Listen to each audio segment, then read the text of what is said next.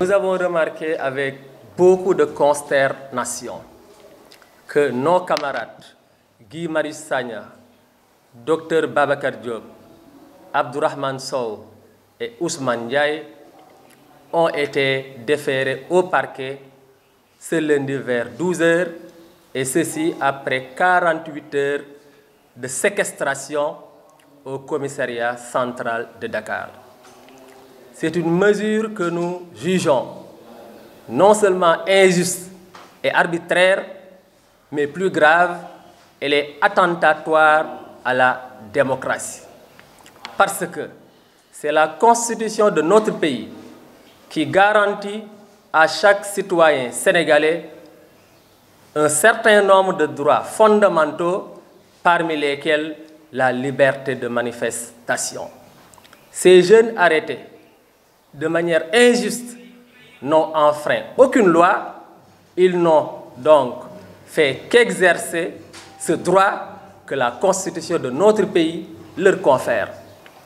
La deuxième raison qui justifie le caractère injuste et même illégal de cette décision, c'est que nous savons tous que la Constitution garantit le caractère obligatoire des séances de l'Assemblée nationale.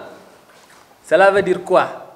N'importe quel citoyen sénégalais a le droit, lorsque les parlementaires votent les lois, de se rendre de manière paisible à l'Assemblée nationale. C'est ce que ces jeunes leaders ont fait. Donc il n'y a aucune infraction dans cet acte qu'ils ont posé le samedi dernier et qui a conduit les autorités policières et judiciaires à les mettre aujourd'hui dans cette situation.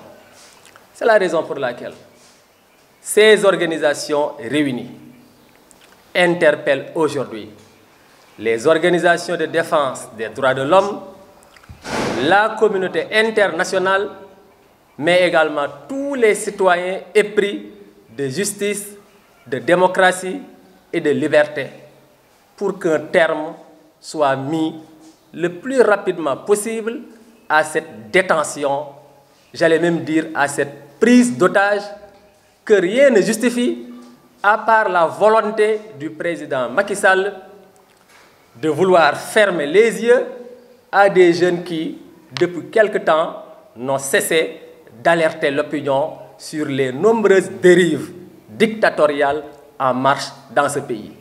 Et nous interpellons directement le président Macky Sall.